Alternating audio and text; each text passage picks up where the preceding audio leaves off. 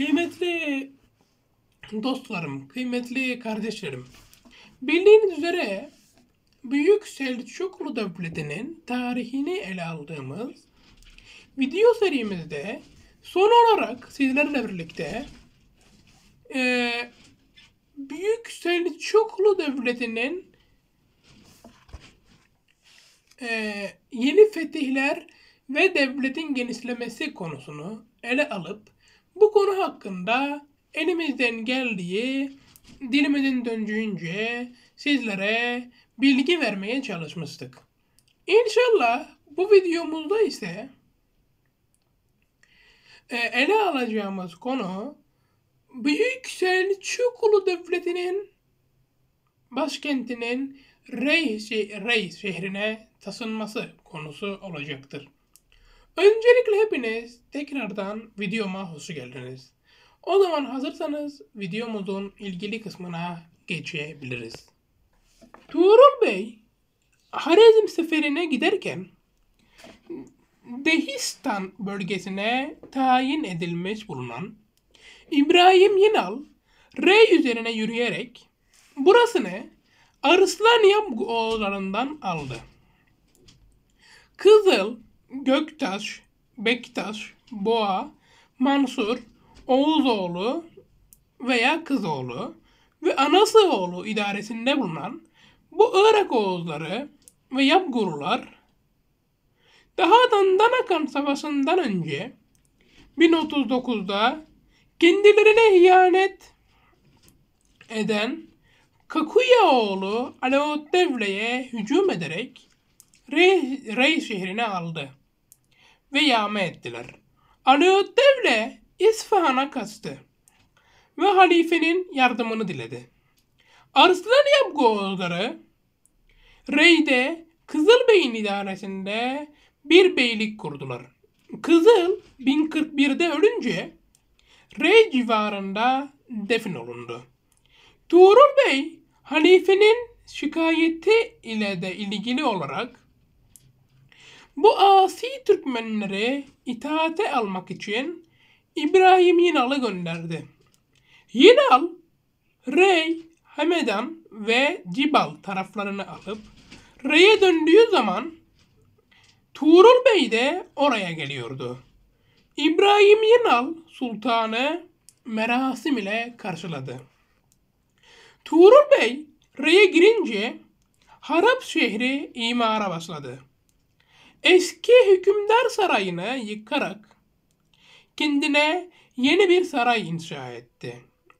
Eski binada gömülü bulunan altın ve mücevherat yükler ile yükleri ele geçirdi. Bu suretle cami ve ilk medreseyi yaptığı ve imar eylediği ilk payitaht Nisabur'u terk ederek Rey'i devletin merkezi haline getirdi. Ki Tuğrul Bey'in 1042'de Rey'de bastırdığı paralar bize kadar gelmiştir. Tuğrul Bey Rey'den Kazvin'e gitti. Beldenin hakimi Aviç müdafadan vazgeçerek 80 bin dinar vergi ile tabiyeti kabul edip yerinde kaldı. Zancan havalisine kaçmış bulunan Arslan Yabgu Oğuzları sultanın itaat teklifini kabul etmeyerek Anadolu istikametinde uzaklaştılar. Tuğrul Bey İsfahan'a da giderek Alaaddevle'nin oğlu Feremuz'u vergi ödemek sureti ile yerinde bıraktı. Fakat Hamedan'da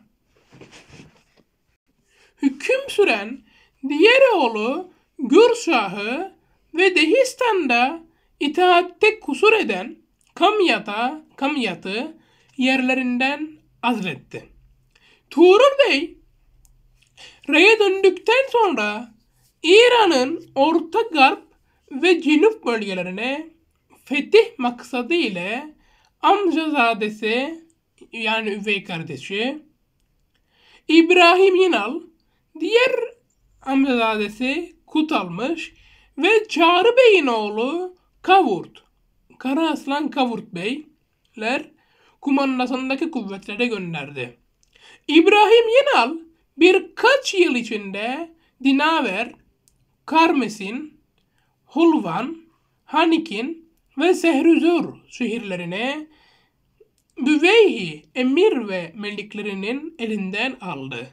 Oğuzlar bu dağlık bölgelerde o kadar yayıldılar ki İbrahim Yenal'ın Bağdat üzerine yürümekte olduğu söylentisi bir heyecan yarattı. Ve Bağdat'ta Şii-Sünni mücadeleleri şiddetlendi. Kutalmış, Kavurt, Yakuti de Gürgan, Damegan, Kumus, Şiraz ve İstahır taraflarından taraflarında fetihler yapmışlardı. Şimdi kıymetli dostlarım e, Selçuklu Devleti'nin başkentinin Rey şehrine taşınması konusunu ele alıp bu konu hakkında sizlere fikir vermeye, bu konuyu sizlere anlatmaya çalıştık. Şimdi e, farkındaysanız bu videomuzda daha önce neredeyse hiç adını anmadığımız yeni bir devletten söz ettik. E, şey Büveyhiler dedik. E, ben bugünü bu haftayı sizlere Şi Büveyhi haftası ilan ediyorum. Ve bu, bu videomuzun sonuna kadar sizlere Şi Büveyhi devleti hakkında e, bilgi vermeye çalışacağım ki bu devleti biraz daha yakından tanıyalım. Hazreti Peygamber Şii Büveyhi devletinin diğer adı ise e, ya da Şii Büveyhi devletinin diğer adı ise Şii Fatimi devletidir. Gelin o zaman Fatimileri daha yakından tanıyalım değerli dostlarım. Hazreti Peygamber Aleyhisselatü Vesselam Efendimizin vefatından sonra Müslümanlar görüş ayrılığına düştüler. Bu farklılık Hazreti Peygamber'den sonra halifenin kim olacağıyla ilgiliydi.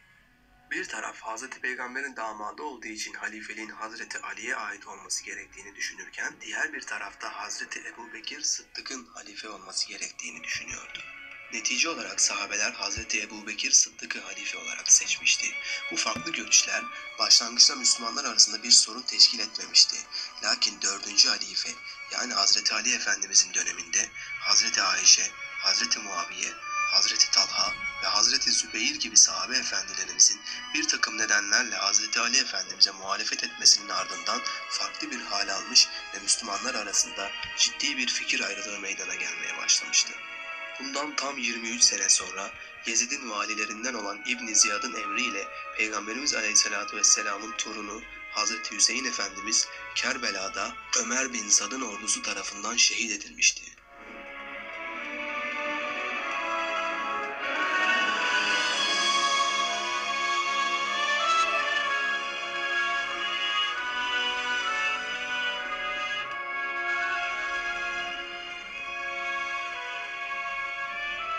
Bundan 85 sene kadar sonra yani 765 senesine geldiğimizde Şiilikte 12 imamların altıncısı olarak kabul edilen Cafer-i Sadık'ın vefatı sonrası ortaya birçok batıni fırkalar çıkmıştı. Cafer-i Sadık'ın oğlu İsmail'i imam kabul ettikleri için İsmailiye, 7. imam olarak Cafer-i Sadık'ın oğlu İsmail'i kabul ettikleri ve şeriat sahibi peygamber 7 tanedir dedikleri için Seb'iye, haram olan şeyleri mübah saydıklarından Hurremiye, kırmızı giyindikleri için Muhammira, hakikatlerin sadece imamdan öğrenileceğine inandıklarından Talimiye, kurucularından Hamdan Karmat'ın ismine nispetle Karamita, Babek Hurremiye tabi oldukları için Babekiye, Afyon kullandıklarından Haşhaşiye gibi isimler alan bu sapık fırka mensupları, Kur'an-ı Kerim ayetlerinin ve hadisi şeriflerin zahiri manalarını hükümsüz sayarak batini manalarına uyduklarını iddia ettikleri için Batıniye ismini almışlardır. Lakin Şiilik ile Batıniliği birbirinden ayırmak gerekiyor. Batıniler, Şii adının altına saklanarak dini ifsad etmeye gayret ediyorlardı. Yoksa ehli sünnete göre dinden çıkaran hususlara taallük etmedikleri sürece Şiilere kafir denemez. İslamiyet'in üç kıtada süratle yayılması, İslam dinine ve İslam ordularına karşı kılıç ile karşı koyamayan din düşmanlarını bu yayılışa karşı tedbirler almaya sürükledi. Kur'an-ı Kerim'e ve hadis-i şeriflere kendi inançlarına göre mana verip genç ve cahil kimselere İslamiyet adı altında bu batini öğretileri öğretmek yolunu tuttular. Mecusilikteki eski inanış ve adetlerinden tamamen vazgeçememiş olan ve yeni Müslüman olmuş İranlılar arasında bir miktar taraftarda bulundu. Tabi olanlar İsmail bin Cafer-i Sadık'ın imam olduklarını kabul ettikleri için İsmailiye, onu yedinci imam olarak kabul ettikleri için Sebiye ismini aldılar. Batıniliği kurdular ve Tüz civarında sapık fikirlerini halk arasında gizli tebliğ metodlarıyla yaymaya başladılar. Dahi denilen gizli propagandacılar yetiştirip insanları ifsad ettiler. Özel olarak yetiştirilen dahiler Küfe, Basra, İran, Yemen, Bahreyn, Kuzey Afrika gibi Müslüman beldelere giderek bu fikirleri gizlice yaymaya çalıştılar. Cahil halka ihtilafa ve şüpheye düşürücü sorular sorarak fitne tohumlarını ekiyorlardı. Ehli sünnete göre batınilik, Mecusilik gibi eski İran ve Hint kültürleriyle ve eski Yunan'dan Hristiyan ve Yahudilikten esinlenerek İslam'ı parçalama gayret ve arzusu ile oluşturulmuş uydurma bir dindir. Kendisinin peygamberimizin soyundan olduğunu iddia eden Abdullah bin Meymun'un neslinden geldiği halde kendine Hazreti Fatıma'nın soyundan gelen anlamında Fatımi diyen Said isimli bir dahi isminin Ubeydullah olduğunu söyleyerek taraftar topladı. Ubeydullah ve taraftarlarının fitnesini gören Bağdat'taki Abbasi halifesi Ubeydullah'ı takip ettirince Mısır'a kaçtı. Sonra Mısırlı bir tüccar kılığında Kuzey Afrika'ya geçti. Fikirlerini yaymak için Müslümanlar arasında fitne ve huzursuzluk tohumları ekti. Burada Aleviler devletine son verdiler. Ubeydullah'ın ahir zamanda geleceği beklenen Mehdi olduğunu iddia ederek Emirül Müminin ünvanıyla 910 senesinde tahta geçirdiler. Hakimiyeti ele geçirip Fatimiler devletini kurdular.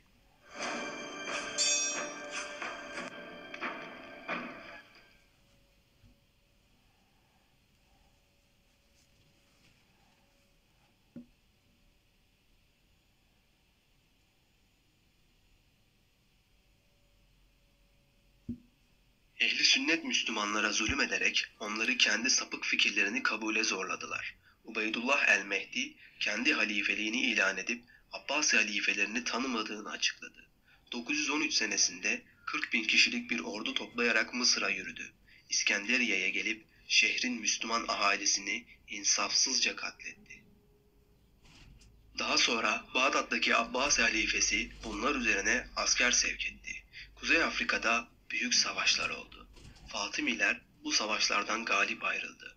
Birçok ehli sünnet alimini ve Müslümanı katlettiren Ubeydullah el-Mehdi 934 senesinde 24 sene saltanat sürdükten sonra 64 yaşında öldü. Ardından gelen Batıni halife ondan daha katıydı. Bu sırada dahiler aracılığıyla Hindistan'dan İran'a, Yemen'den Mağrib'e kadar her yere bu batini fikirleri aşılamak için hızla çalışıyorlardı. Tüm bu çalışmalar ve halkın Abbasi halifesinden memnun olmaması İslam aleminde ciddi bir şekilde batıniliğe geçişe doğru ilerlemişti.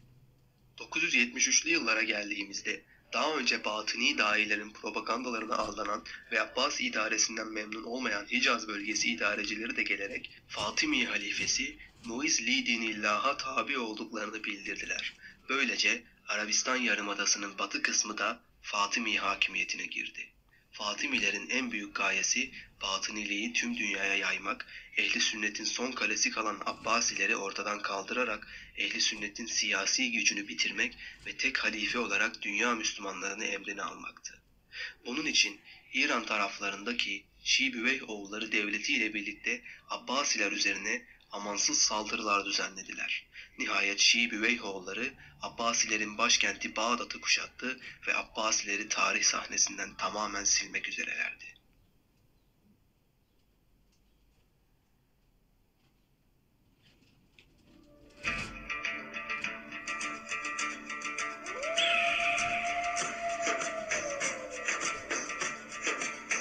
Lakin umdukları gibi olmadı. Selçuklu Sultanı Tuğrul Bey halifeye yardım etmek için ordusunu toplamış ve Şii Büveyh oğulları Bağdat'ı kuşatmış bulunurken arkalarından ülkelerine girerek Şii Büveyh oğulları ülkesini tamamen tarih sahnesinden silmiş ve Bağdat'ı da kurtarmıştı. Fuat Köprülü'ye göre Selçuklu hükümdarları meydana çıkarak Abbasi hilafetini ve Sünniliği muhafaza etmeseydiler, İslam dünyasında Şiiliğin genel olarak hakim bir konuma geleceği muhakkaktı.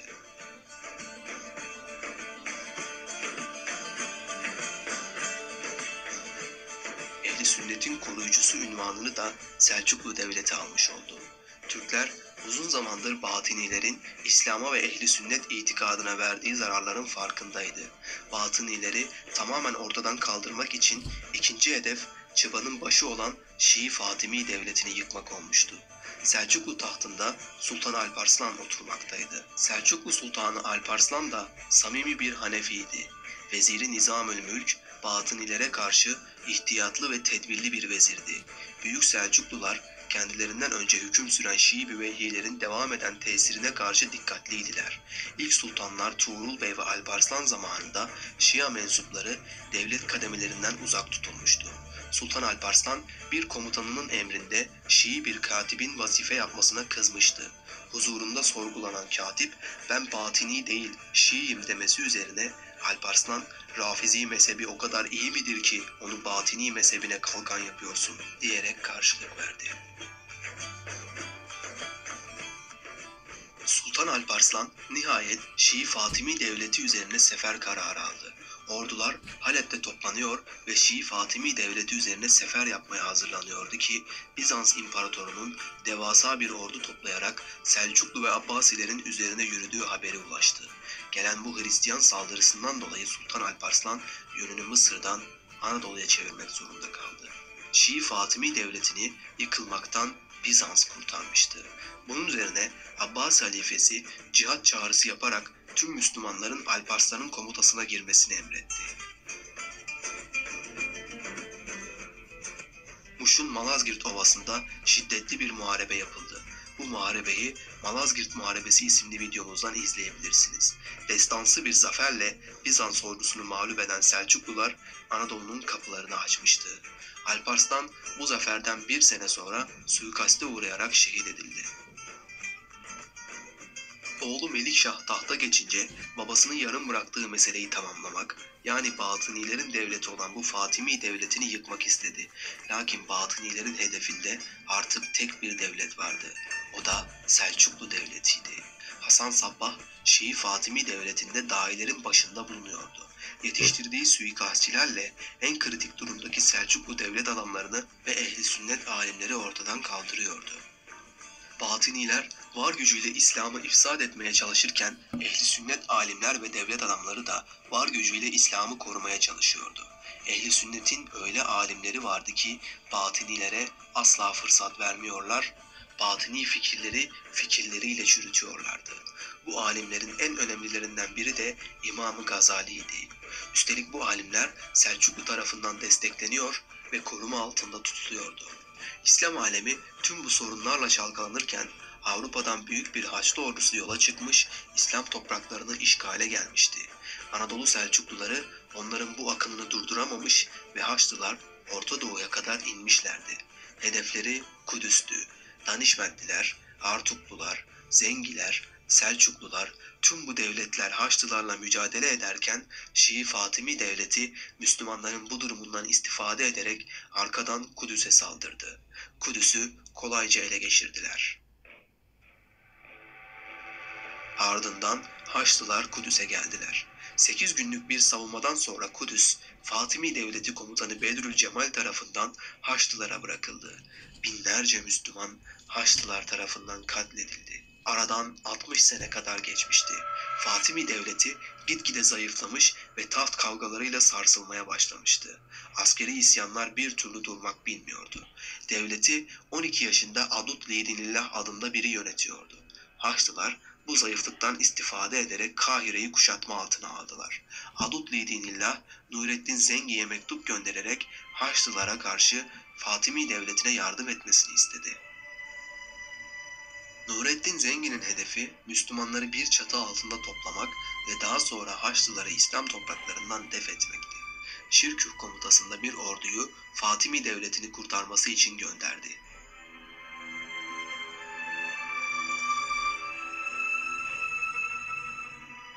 Şirkuh ordusu Kahire'ye vararak bu Haçlı ordusunu kamilen kılıçtan geçirdi. Fatimi hükümdarı Adud Lidinillah tarafından çok hoş karşılanan Şirkuh saraya vezir tayin edildi. Şirkuh, Şii Fatimi devletinin ilk sünni veziri olmuştu. Kısa bir süre sonra vefat edince yerine yeğeni Selahaddin Eyyubi vezir olarak devam etmişti. Selahaddin Eyyubi vezir olur olmaz ilk icraatı bütün Haçlıları Mısır'dan def etmek oldu. Bu sayede Fatimi devletindeki herkesin itimadını ve sevgisini kazanarak bir kahraman olmuştu. Vezir olarak önce devletin önemli kademelerine sünnileri yerleştirmeye başladı. Bu işi gizliden gizliye yapıyordu. Ve yanına taraftarlar topladı. Yeterli gücü eline aldıktan sonra Selahaddin, Fatimi hükümdarını devirerek tahta oturdu. Batınilerin hükümdarlığı bu sayede son bulmuştu. Alparslan'ın 100 sene önce yapmak istediği şeyi bugün yani 1171 senesinde Selahaddin Eyyubi başarmıştı. Selahaddin Eyyubi ilk olarak Abbasi halifesine bağlılığını bildirdi. Fatimi devleti döneminde yetiştirilen dahiler öğrendikleri sapık fikirleri Atlas Okyanusu kıyılarından Çin'e kadar yaymışlardı. Fakat Selahaddin Eyyubi'nin ilmi, keskin zekası Yılmaz ordusu karşısında yıkılıp gittiler. Eyyubi medreselerinde yetişen ehli sünnet alimleri onların bozuk fikirlerinin kökünü kazıdılar. Şimdi Selahaddin'in sıradaki hedefi, rüyası, hayalleri, intikamı olan Kudüs'ü geri almaktı. Şimdi dostlarım, eee, kardeşlerim, videomuzun ikinci kısmında dediği gibi Eyyubi Devleti hakkında eee, bir şeylerden bahsetti. Gelin bir de Eyyubi Devleti'ni dinleyelim.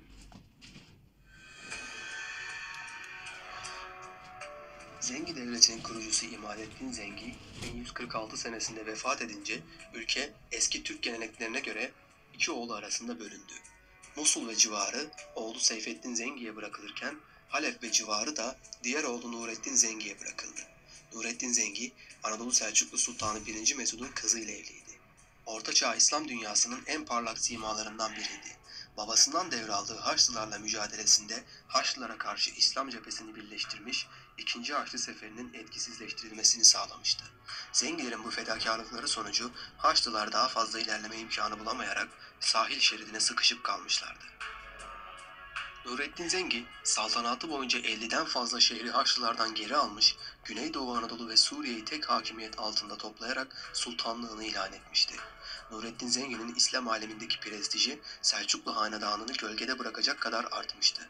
Nurettin Zengi ileri görüşlü bir liderdi. Adımlarını daima geleceğe düşünerek atardı. Onun üç hayali vardı. İlki Müslümanları birleştirerek İttihadı İslam'ı kurmak, ikincisi Kudüs'ü Haçlılardan geri almak, üçüncüsü de Konstantiniyye'yi fethetmekti. Selahaddin Eyyubi 1138 senesinde Bağdat'ın kuzeyindeki Tikrit şehrinde Kürt asıllı bir ailenin çocuğu olarak dünyaya geldi. Babası Necmettin Eyyub, Selçuklu emiri İmadettin Zengin'in hizmetindeydi. Selahaddin, Büyük Türk Hakanı Nurettin Zengin'in yanında yetişti ve ondan komutanlık ve siyaset öğrendi. Selahaddin Eyyubi'ye Kudüs vizyonunu veren kişi Nurettin Zengi'ydi. Selahaddin bu görevi öylesine sahiplenmişti ki Kudüs'ün hayaliyle uyuyup uyanır olmuştu. Haçlılar Nurettin Zengin'den korktukları için hiçbir Sünni Müslüman devlete savaş açamıyorlardı. Zira Müslümanlar da artık Haçlılara karşı birlik halindeydi. Bu yüzden Nurettin Zengin'in ve ehli sünnet devletlerin hasmı olan Şii Fatimi devletine harp ilan ettiler. O sıralarda Fatimi devleti son demlerini yaşıyordu. Ülkedeki iç karışıklık ve çalkantılar bitmek tükenmek bilmiyordu. Fatimi hükümdarı Adut Lidinillah 12 yaşında tahta geçmiş bir delikanlıydı. Haçlılar Kahire şehrini kuşatma altına aldılar. Fatimilerin başka şansı yoktu. Ya adil hükümdar Nurettin'den yardım isteyecekler ya da Haçlılar tarafından yok edileceklerdi. Bunun üzerine Fatimi hükümdarı Adut Lidinillah Haçlıların en çok çekindiği emir olan Nurettin Zengi'den yardım istedi. Nurettin Zengi'ye kadın saçları göndererek kadınlarımızı Haçlıların elinden kurtar diye yalvarıyordu.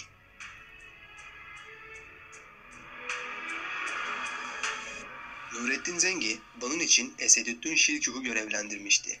Emrine emirler tahsis etti. Bunların içinde Selahaddin Eyyubi de vardı. Nurettin Zengi bunlara ek takviye olarak 6000 Türkmen askerini de Şirkuh komutasına verdi. Bu büyük birliği Mısır'ı Haçlılardan kurtarması için göndermişti. Şirkuh ve ordusu Mısır'da bulunan Haçlılarla mücadele ederken Nurettin Zengi de Orta Doğu'daki Haçlılarla mücadele edecekti. Nurettin Zengi tüm Müslüman devletlere haberler göndererek Haçlılara karşı saldırıya geçeceğini ve yardım etmeleri için çağrıda bulundu. Her taraftan Haçlılardan intikam almak için takviye birlikler bu çağrıya dönüş yaptı. Kısa zamanda 10 binden ziyade bir ordu toplandı. Nurettin Zengi bu orduyla Harim Kalesi'ne doğru yürüyüşe geçti. Haçlılar bu çağrıyı haber alır almaz Antakya Prensliği ve Trablus Kontluğu ordularını topladılar. Bizans'tan da destek istediler. Bizans da ordularını Harim'e sevk etti. Nihayet ordular karşı karşıya geldi.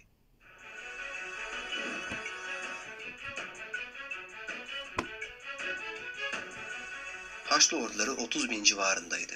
Nurettin'in ordusunun neredeyse 3 katıydı. Nurettin Zengi hızlı bir şekilde Haçlıların merkezine doğru saldırıya geçince Haçlılar birleşerek karşı koydular.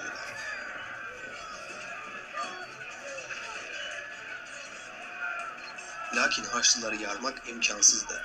Bunun üzerine Zengi geri çekilme emri verdi. Bu durum Haçlılar için inanılması zor bir haberdi. Senelerdir karşısında zafer yüzü göremedikleri dehşetli komutan Zengi şimdi kaçıyordu.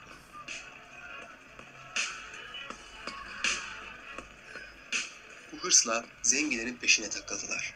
Bu sırada düzenden bağımsız bir şekilde ilerliyorlardı.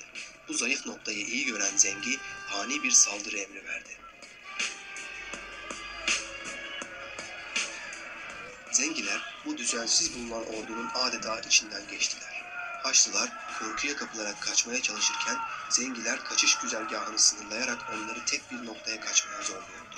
Islak bataklıkların tam ortasına. Harim Muharebesi Müslümanların zaferiyle sonuçlanırken Antakya kontu Bayamo, Trablus kontu Komes, Bizans valisi Dük ve 3. Cosel'in dahil binlerce esir alınmıştı. 20 binden ziyade Haçlı askeri imha edilmişti. Bu sırada Şirkuh ve Selahaddin komutasındaki ordu da Mısır'da Haçlıları bozguna uğratmıştı. Ardından Şirkuh övgülerle Fatımi Sarayı'na girerek vezir tayin edildi. Nurettin Zengi Banyas şehrini de Haçlılardan geri almıştı. Burada yapılan muharebede kardeşi Nasreddin'in gözüne ok saplanmış ve bir gözü kör olmuştu. Nurettin kardeşine eğer bu harpteki yararlılığın sebebiyle Cenab-ı Allah'ın ahirette senin için hazırladığı mükafatı görebilseydin diğer gözünün de gitmesini isterdin dedi. Mısır veziri Esedüddin Şirkuh vezir olduktan iki ay beş gün sonra vefat edince yerine vezir olarak yeğeni Selahaddin Eyyubi geçti. Haçlıları tamamen Mısır'dan çıkararak halk arasında kısa zaman içinde bir kahraman olmayı başarmıştı. Devletin önemli kademelerinde bulunan batinileri görevden alarak göreve ehli sünnet Müslümanları geçiriyor ve Şii Fatimi devletini içeriden çökertmeye çalışıyordu. Bu sırada Nurettin Zengi de Munaytira kalesini fethetmişti. Haçlılar bir yandan Nurettin Zengi ordularıyla, diğer yandan Selahaddin Eyyubi ordularıyla baş etmeye çalışıyor ancak her seferinde hüsrana uğruyorlardı. Nurettin Zengi, Selahaddin Eyyubi'ye mektup göndererek fermanı olmadığı halde vezirliği kabul etmesinden ötürü Selahaddin'i kınadı. Mısır diyarından elde ettiği gelirlerin hesabını çıkarmasını istedi. Selahaddin bu emri yerine getirmedi. Bunun üzerine Nurettin Zengi, Eyyub'un oğlu hükümdar olmuş demeye başlamıştı. Nihayet Selahaddin Eyyubi, Fatimi Hanedanı'nı devirerek yönetimi tamamen eline geçirmişti. Fatimi Devleti yıkılarak tarih sahnesinden tamamen silinmiş oldu.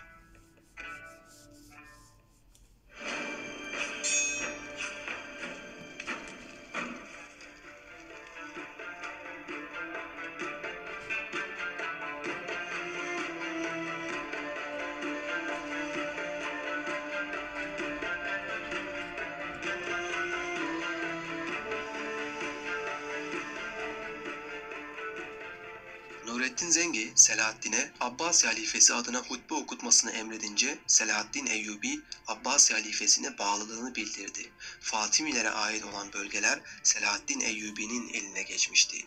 Halk Selahaddin'den çok memnundu. Zira onu Haçlıları defettiği için kahramanları olarak görüyordu. Halkın desteği Selahaddin'in yanındaydı. 300 seneden fazladır batınilik yayılmış ve İslam çok büyük hasarlar almıştı. Bu hasarları düzeltmek ve batıniliği bitirmek için Selahaddin Eyyubi hızla çalışmalarına başladı. Yeni ehli sünnet medreseleri açılarak halkın bozulmuş olan itikadı düzeltilmeye uğraşıldı. Kısa zaman içinde büyük ölçüde başarıya ulaştılar. Batiniler ülkeyi terk ederek ücra bölgelere gittiler. Selahaddin Eyyubi Mısır'da Nurettin Zengin'in naibi olarak görev yapıyordu ve ona bağlıydı. Ancak bu sene Selahaddin Eyyubi ile Nurettin Zengi arasında bir anlaşmazlık meydana geldi. Nurettin Zengi kış bastırınca Musul'da kışlamaya karar verdi.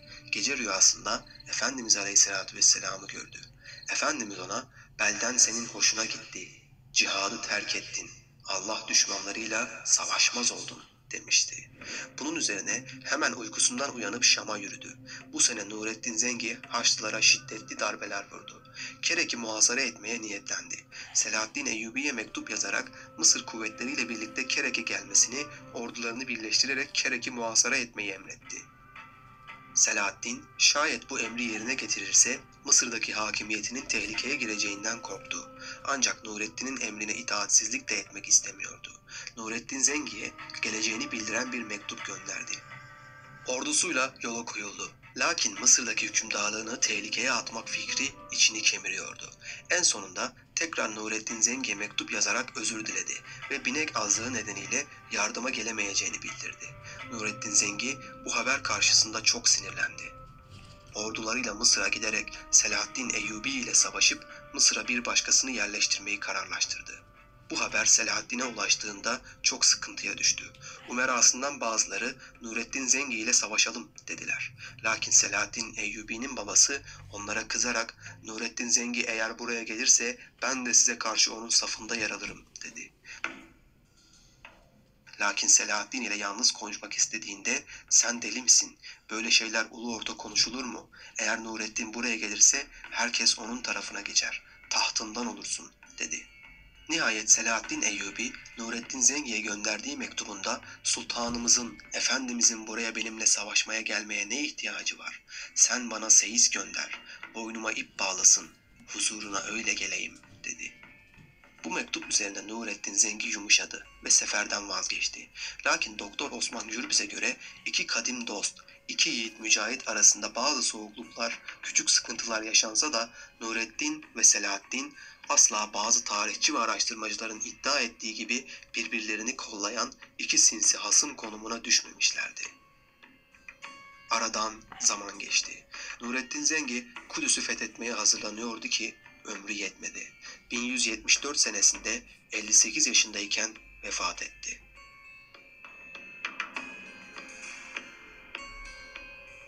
Yerine çok küçük yaştaki oğlu Salih İsmail geçmişti. Lakin oğlunun çok küçük yaşta olması dolayısıyla ülkede bir karışıklık hakim oldu. Emirler ihtilafa düştüler. Fikirler karıştı. Şaşkınlık ortaya çıktı. Şerler meydana geldi. İçki ve fuhuş ayyuka çıktı. Oysa ki Nurettin Zengi devrinde böyle şeylere kimse cesaret edemezdi. Ancak Nurettin Zengi vefat edince bazı emir ve ümeranın iç yüzleri ortaya çıktı. Nurettin Zengi'nin vefatı üzerine Haçlılar her taraftan Müslümanların üzerine tekrar saldırmaya başladı. Nihayet toplanarak Şam'ı ele geçirmeye karar verdiler. Zengi Ümerası Musul neferlerinden destek istedi ve Haçlılara haber göndererek çok yakında Selahaddin de buraya gelecek diyerek Haçlıları korkutmuşlar ve Haçlılara yüklü miktar para ödeyerek barış anlaşması imzalamışlardı. Selahaddin Eyyubi Zengi Ümerasını bu davranışından dolayı kınamıştı. Zira Haçlılar sayıca çok az ve güçsüz bulunmaktaydı. Selahaddin Haçlılara karşı korumak için Şam mıntıkasına yürüyeceğini bildirdi.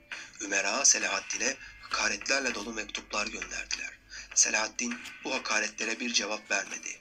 Ümera, Musul valisi Seyfettin Zengi'yi biat etmek ve Şam'ı Selahaddin Eyyubi'den ve Haçlılardan korumak maksadıyla Şam'a davet etti. Lakin Seyfettin Zengi bunun bir hile olduğunu düşünerek bu teklifi kabul etmedi. Selahaddin Şam'a yürüyecekti ki Haçlılar Sicilya'dan getirdikleri büyük bir donanmayla Mısır sahillerine gelmişlerdi. Bu donanmada birçok gemi, savaş aleti, savaşçı vardı. Donanmada her birinin içinde 150 savaşçı bulunan 200 gemi ve 400 parça da irili ufaklı başka gemiler vardı.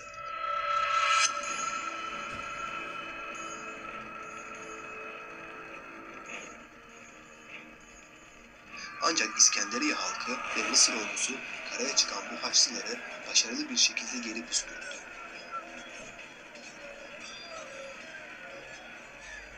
Haçlılar dağılıp kaçtılar. Diğer yandan Şii Fatimi devletini tekrar diriltmeye çalışan Abbas bin Şadi ismindeki bir batıni Selahaddin'e karşı ordu topluyor ve ordusuna Fatimi devletini tekrar kurmayı vaat ediyordu.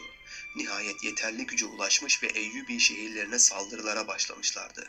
Selahaddin Eyyubi bunlar üzerine asker sevk etti. Askerlerin başına da kardeşi Ebu Bekir el-Kürdi'yi tayin etmişti. İki taraf karşı karşıya gelip savaşa tutuştu. Ebu Bekir el-Kürdi, Abbas bin Şadi'yi bozguna uğratarak kendisini ve ailesini esir aldı. Bu sayede Fatimi devletinin başı tekrar ezilmiş ve batınilere fırsat verilmemiş oldu. Ardından Selahaddin Eyyubi, kardeşi Ebu Bekir el-Kürdi'yi Mısır'a naip olarak bırakarak emrindeki ordusuyla Şam'a yöneldi. Nurettin Zengi'nin vefatından sonra Zengi devletinin otoritesi sarsılmış, yöneticiler ihtilafa düşmüş, ipler elden çıkmıştı. Selahaddin'in amacı Zengi ülkesinin dağılan otoritesini toparlamak, ahalisine ihsan ve iyilikte bulunmak, dağlarını ve ovalarını güvenli hale getirmek, İslam'a yardım etmek, azgınları def etmek, Kur'an'ı izhar edip diğer dinleri yok etmek, Rahman'ın rızası ve şeytanın burnunun yere sürülmesi uğruna Haçlıları kırmaktı. Başlangıçta Selahaddin'e hakaretler eden Şam ümerası, Selahaddin'in geldiğini haber alınca korkuya kapılmış ve şehri savunmasız olarak Selahaddin'e teslim edip çekilmişlerdi. Selahaddin devam ederek Halep'e yöneldi. Halep'in kendisine teslim edilmesini istedi. Ancak Musul valisi Seyfettin Zengi Halep askerlerine desteğe gelmişti. Seyfettin Zengi, Nurettin Zengi'nin kardeşiydi. Haleplilerin ordusu Selahaddin'in ordusundan kat kat fazla olmuştu. Selahaddin Hama kuşatmasındayken Halep orduları Hama'yı kurtarmak için gelmişti. Selahaddin ordusunu tek sıra halinde dizmişti. Kardeşinin orduları destek için Şam'dan yola çıkmıştı. Selahaddin takviye ordular gelene kadar Haleplileri oyalamak maksadıyla onlara yumuşak üslupla mektuplar yazdı. Mektubunda ben Şam şehriyle yetinirim. Hama, Humus ve Halep sizin olsun. Benim zengilere hizmetim çoktur. Sizinle savaşmak istemem gibi ifadeler de kullanmıştı. Ancak Halepliler anlaşma şartlarına ağır maddeler ekleyince Selahaddin anlaşmayı reddetti. Bunun üzerine harp vaziyeti alındı. Bu sırada Selahaddin'in takviye orduları gelmişti. Şimdi durum tekrar değişmişti. Selahaddin'in orduları Zengi ordularından daha fazla ve korkutucu duruyordu. Burada bu iki Müslüman ordusu şiddetli bir muharebeye tutuştular. Savaşın kazananı Selahaddin Eyyubi olmuştu. Selahaddin askerlerine kaçanların kovalanmamasını, yaralıların öldürülmemesini ve esirlerin serbest bırakılmasını emir verdi. Selahaddin, Münbiç, Azez ve Halep'i kuşatarak ele geçirdi. Emirlerinin ricasıyla Halep şehrini Nurettin Zengin'in oğlu İsmail'e bırakarak Şam'a döndü. Selahaddin Eyyubi, Nurettin Zengi'den sonra tekrar kısmi bir İslam birliği tesis ederek yönünü Haçlılara çevirdi. Evet e, dostlarım Selahaddin e, Eyyubi'nin hayatını da e, bu bağlamda bir incelemiş olduk. E, şimdi kıymetli dostlarım, kıymetli kardeşlerim, o dönemdeki olay şu. E, ben o olayı kendi bakış açıma göre e, ama tarafsız olarak çünkü e, tarihi olayları ele alırken tarafsız olmamız gerekiyor. Ee, ben o olayı tarafsız bir şekilde kendi bilgime göre anlatmaya çalışayım. Ee, Fatimilik ya da e, Fatimi Devleti dediğimizde günümüzde de dünya üzerinde e, bir nüfusa sahip olan e, Aleviler veya Şiiler aklınıza gelmesin. Onlar yani Fatimiler, Büveyhiler, o dönemdeki devletler, Karmetiler, o dönemdeki devletler Şiiliği yani Aleviliği e, kendilerine süs olarak kullanıp e, insanlara zarar vermeye, insanların malını mülkünü bölmeye, insanların hayatını tehlikeye atmaya, insanların canını, malını, namusunu, ırzını yağmalamaya çalışan ve kendilerine Şiilik e, kisvesi veren ama aslında bırakın Şiiliği Müslümanlıkla bile ilgileri olmayan e, insanlardır. O dönemdeki devletler. E, ve şimdi şöyle bir düşünecek olursak diyelim ki e, Türkiye'den örnek verelim. Türkiye'de bir e, olay çıktı. Örnek veriyorum. Bir grup e, darbeci, terörist, vatan haini milletin ırzına, malına, canına, namusuna saldırıyor. Her ülke gibi bizim ülkemizde ne yapar? Tabii ki de e, eğer bu şekilde ülkeyi ikiye bölebilecek bir güçse ise ordusunu toplar, ölüm kalım zingini verir, ya yenir ya yenilir, yenerse vatanını kurtarır. Yok yenilirse yeni bir devlet kurar. Türklüğün töresi budur. Şimdi dostlar o dönemde de aynı durum oluyor. Yani dünyanın bir e, dünyayı Amerika ile Rusya e, Amerika ile Sovyet Birliği gibi düşünecek olursak soğuk savaştaki dünyanın bir kısmı Müslümanlık kalemini kastediyorum burada.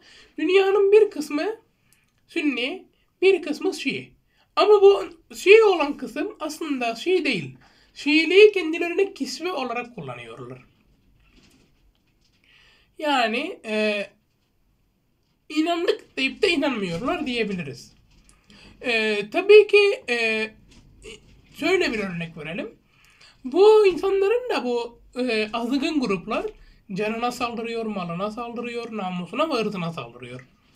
Ve her insanın yapması gerektiği gibi her insan nasıl ki kendi e, canına, malına, ırzına, namusuna bir e, saldırı olduğunda bu konularda bir e, şey basına geldiğinde nasıl ki gerekirse eline silah alır kendisini müdafaa ve muhafaza ederse başına kötü birisi gelmemesi için devletler de böyledir. Hiçbir devlet kendisinin zayıf kalmasını bilakis e, teröristlerin, vatan e, teröristlerin ve sapıtmışların, yoldan çıkmışların güçlenmesini istemez. E, Fatimi devletiyle de e, Selçukluların, Zengilerin, Eyyubilerin mücadelesine bu bağlamda bakabiliriz. Selçuklularda, Eyyubilerde, Zengilerde Fatimi devletinin e, Türklere ve Müslümanlara zarar vermesini engellemek için müdafaa ve muhafaza hareketlerine girişmişlerdir. Selahaddin Eyyubi de e, bun, bu Fatımileri bitiren ve Kudüs'ü fetheden muazzam bir komutandır. Selahaddin Eyyubi ile e, Nurettin Zengin'in mücadelesini şöyle düşünürsek daha doğru olur. Kahramanoğlu Osmanlı mücadelesi değil de Nurettin Zengi ile Selahaddin Eyyubi'nin mücadelesi Timur Osmanlı mücadelesidir. Değerli dostlarım yani araya giren insanlar tarafından bu ilişkiler bozulmuştur. Ve hiçbir zaman için bu ikisi birbirine silah çekmemiştir. Ee, birbirine hasım olmamışlardır değerli dostlarım. Ee, bunu da bu bağlamda kendi bilgimizle tarafsız bir şekilde ortaya koymuş olalım inşallah değerli dostlarım. Kıymetli dostlarım, kıymetli kardeşlerim biz bu videomuzda sizlerle birlikte Selçuklu Devleti'nin başkentinin reye taşınması konusunu ele alıp bu konu hakkında elimizden geldiği dilimizin döndüğünce sizlere bilgi vermeye çalıştık. İnşallah önümüzdeki videomuzda Selçuklu sultanları ve Anadolu'nun fethi, sebe- fethi sebepleri fetih sebepleri konusunu ele alıp bu konu hakkında sizlere bilgi vermeye, bu konuyu anlamaya ve anlatmaya çalışacağız. Videomu buraya kadar izlediğiniz için hepinize çok teşekkür ediyorum. İnşallah önümüzdeki videomuzda Selçuklu sultanları ve Anadolu'nun fetih sebepleri fetih sebepleri konusunda görüşmek üzere. Sağ olun, var olun. Allah'a emanet olun dostlarım, kardeşlerim. Allah'a emanet olun. Yeni videomuzda görüşmek üzere. Allah'a emanet olun inşallah.